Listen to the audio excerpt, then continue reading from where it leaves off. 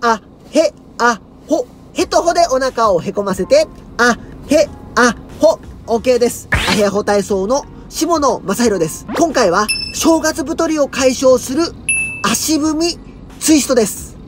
足踏みをしながらツイストをするですね、トレーニングなんですけれど、車の中でもできますね。もちろん運転席でもできますし、助手席でも後ろの席でもできますね。トイレなどの狭いところでもできますし、狭いオフィスでもできますね。手軽にできる体操なので、ぜひですね、正月太りの解消としてやってみてください。それでは早速、始めます。足踏みをしながら、1、2、1、2、ももをしっかりと使って、1、2、1、2、狭いところなので、縮こまります。この状態で、足踏みしながら、今から30秒ツイストです。1、2、1、2、1、2、1、2ですね。右、左、右、左とですね、しっかりとパワフルにですね、ツイストをします。ウエストを意識して、足踏みは止めないですよ。下半身もポカポカしながら、ウエスト周りもポカポカしますよ。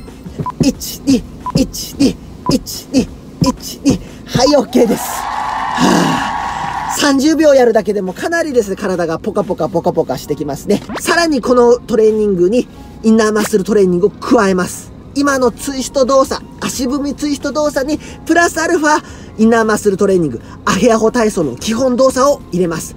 アヘアホと発声しながら、ヘとホでお腹をへこませます。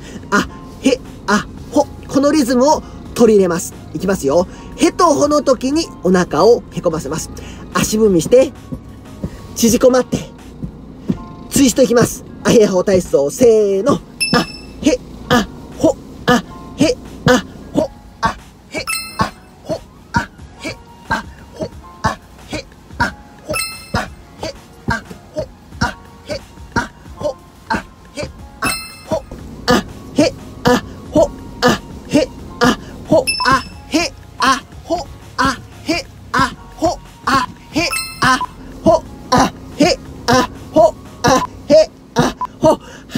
OK でーす。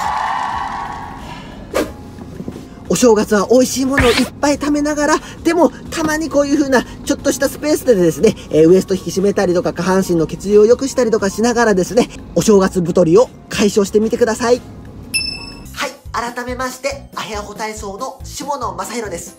このチャンネルでは、アヘアホ体操が12年間培ったノウハウを惜しみなく発信しています。ぜひチャンネル登録よろしくお願いします。アヘアホ体操、楽しいですよ。ワクワクしますよ。